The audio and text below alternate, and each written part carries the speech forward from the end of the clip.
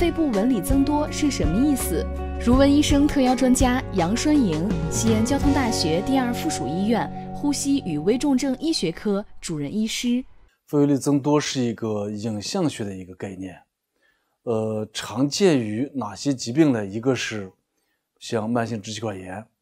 第二个就是急性的一些支气管感染、支气管炎，第三个就是像这个间质性疾病，比如说间质性肺炎等等。它在影像学上都会表现为肺围的增重。对患者来讲，可能大部分患者没有症状，有些患者可以有咳嗽、咳痰，甚至气短啊等等。常见的原因有这个吸烟、大气的污染等等，在这些环境下工作的这些人，再一个就是有感染，并发生病毒感染，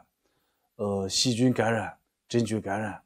都可以，也有一些这个原因不明确，像自身免疫性疾病，它在肺部的表现就可以是单纯的肺围的增多。这种情况，呃，一般是要查原因，大部分情况下，大部分都不要紧啊，关键是要查原因，看它有没有原因，查清楚原因，我们就可以这个对症治疗。